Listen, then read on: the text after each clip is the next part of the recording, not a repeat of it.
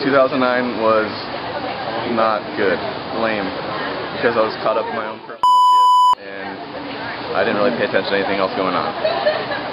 I would say that 2009 is a bit overrated.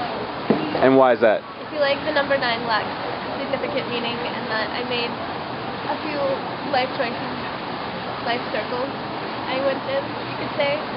So you're going in circles in 2009? Perhaps. California's alright. I'll give it that. You just moved here? Two years ago. And so you feel like it still hasn't quite stuck? Exactly. It's definitely um, a culture shock that I'm still getting used to. I would say that 2009's great term in my mind is environmentally unfriendly And why is that? because of man-made disasters along with actual natural disasters happening in the year 2009. They both seem to collide into this terrible environment situation. What was the biggest man-made one you can think of? Um, probably all the uh, warfare byproducts. That's the first thing that comes to mind. volatile. And why is that? Um, I think economically it was very volatile. I think uh, the world was in a lot of turmoil as far as um, different areas of war, um, a lot of companies, and a lot of personal turmoil. So it was very volatile. If I were to come up with a phrase that I think that applies generally to the world as a whole, this country in particular, for the year 2009, I would say treading water.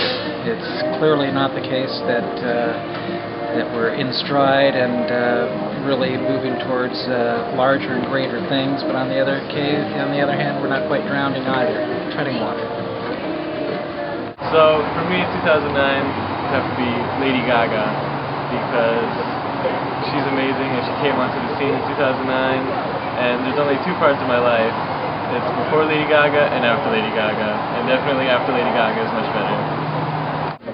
I would say the word that I would choose for this past year would be fallen. And why is that?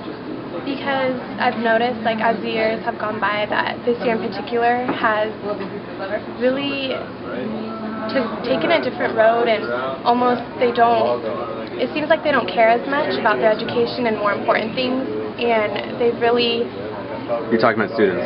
Yeah. yeah, Yeah. students. You know, even in high school, which you would think people would be like more mature and more into their own lives.